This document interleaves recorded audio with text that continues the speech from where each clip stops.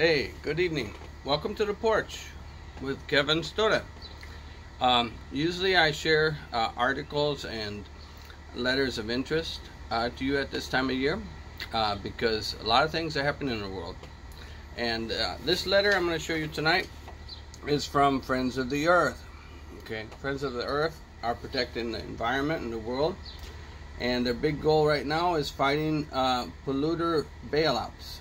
And I encourage you to think about supporting an organization like this and also making a difference by being involved locally um, in making sure that you have good water and that you don't have uh, uh, polluters in your uh, water chain or whatever food supply chain. Okay, um, fighting polluter bailouts. In a matter of weeks, millions have lost their jobs, schools and workplaces have been forced to close. As COVID 19 raced through our communities, it is is dramatically changing our way of life, and it also threatens to harm our planet.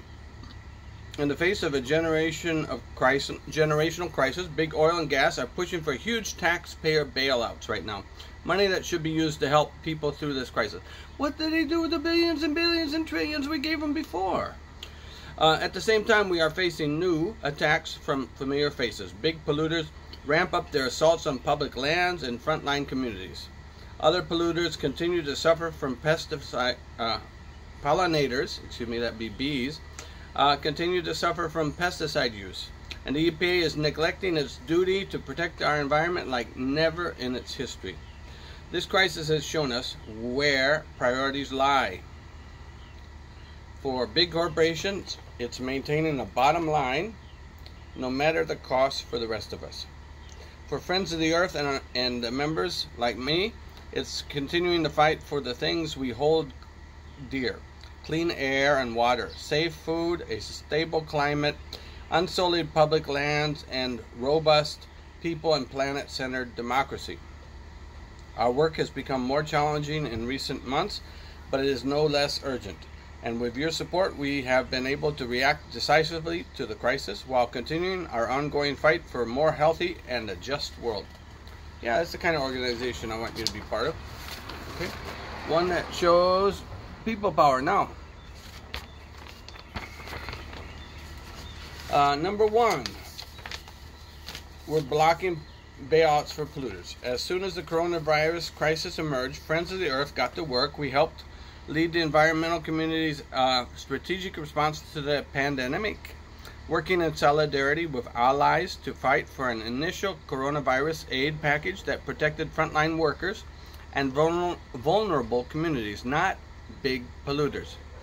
Thanks to your support, we were able to fight for oceans. As one of the few groups working on cruise ships, we successfully blocked bailouts for an industry that deliberately incorporates uh, offshore uh, itself offshore to avoid taxes and to skirt environmental and labor laws. Uh, we pressured Congress to prioritize family farmers in the stimulus package and to expand SNAP, food stamps benefits, something that uh, administration is having trouble actually following up on.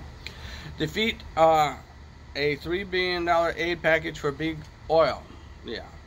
Our campaigners actively uh, acted swiftly to combat a proposal to buy oil and fill the strategic petroleum reserve, a shameless bid to backstop plummeting prices at the coronavirus as the coronavirus hit. Now that the CARES Act has passed, we've got more work ahead of us. In fact, the Federal Reserve just announced 750 billion in corporate debt buying as part of the stimulus. We'll be pushing for further congressional oversight to make sure that big polluters can't cash in on this crisis to worsen their environmental destruction.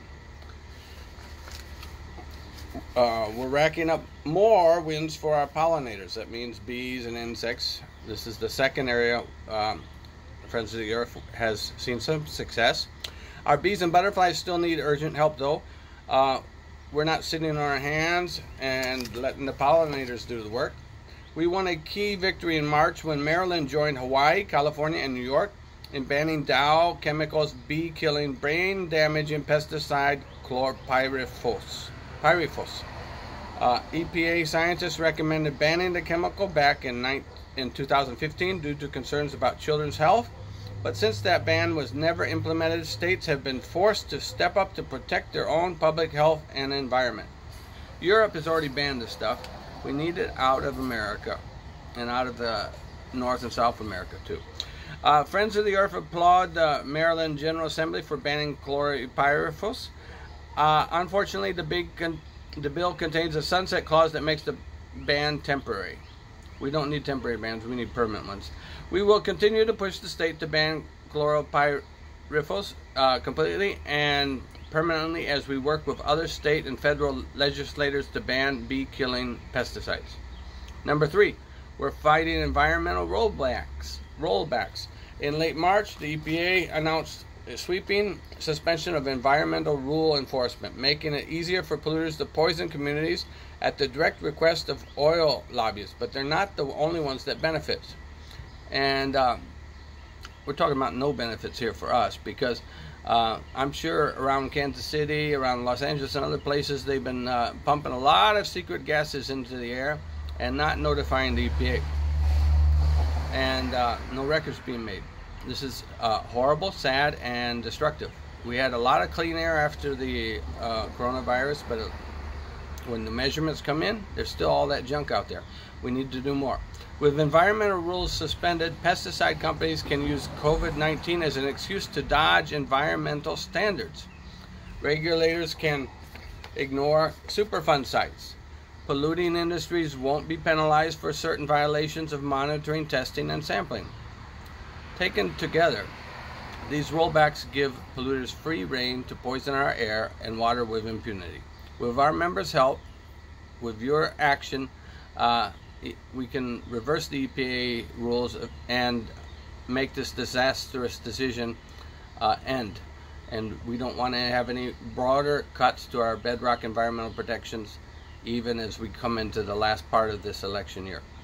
Um, number four, we're standing up to extractive industries. In pristine Bristol Bay, Alaska, regulators are trying to push through the proposed Pebble Mine Despite the opposition of more than 65% of all Alaskans, 80% of Bristol Bay residents, including Native Americans, and more than 85% of commercial fishermen. Yeah, we don't have a government run by the people anymore. We've got to fix this. It's clear why opposition is so strong. The mine could generate more than 10 billion tons of dangerous waste, including lead, arsenic, and other toxins, wipe out 90 miles of salmon streams, and pollute more than 5,000 acres of wetlands, ponds, and lakes. It would devastate local communities and the last great wild sockeye salmon fishery. Trying to sneak through approval of this project during a national crisis is despicable. Friends of the Earth and our members won't rest until Pebble Mine is shelved once and for all. Number five, we're preserving our public lands. Big polluters are desperate to get their hands on our public lands. Right now, America's most iconic national landmark, the Grand Canyon, is being threatened with uranium mining, which would poison water, disrupt critical habitat for wildlife, and increase the risk of cancer and other health issues for local indigenous communities. As soon as we learned of this plan, Friends of the Earth pushed the House of Representatives to pass a bill protecting the Grand Canyon from uranium mining forever. Thanks to our pressure, they acted. Now, with the help of our members, we are pushing the Senate to do the same. Meanwhile, in Colorado, the Bureau of Land Management plans to lease over 67,000 acres of public lands in Colorado to big oil for fossil fuel extraction. What for? We're going to be transitioning faster than ever after this pandemic to uh, alternative fuels. This would irreversibly damage the habitats of sage grouse, elk, and mule deer and lead to devastating health implications for local and indigenous communities. Friends of the Earth members like you are stepping up demanding that the BLM halt these leases. In conclusion, uh, we're fighting for justice and a healthy world for all. Despite the alarming events of the last few months, Friends of the Earth and our members have continued to fight and win the kinds of victories that have characterized our 50 years of existence. With your support, we are ready to keep the fight up for a world that prioritizes people and the planet and not corporate greed. And God save our democracy.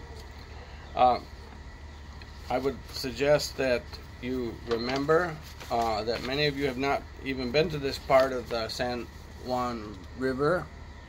Uh, it's a gorgeous place, and I want you to go there.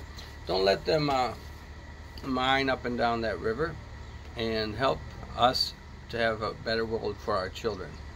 Uh, we'll talk about climate change in the future, but right now, uh, let's get the EPA under under our sights and make sure that by the end of this year, no president will try to roll back all the EPA efforts. Instead, we're going to implement them and we're going to do them right for all Americans and for our children and our grandchildren and our great grandchildren.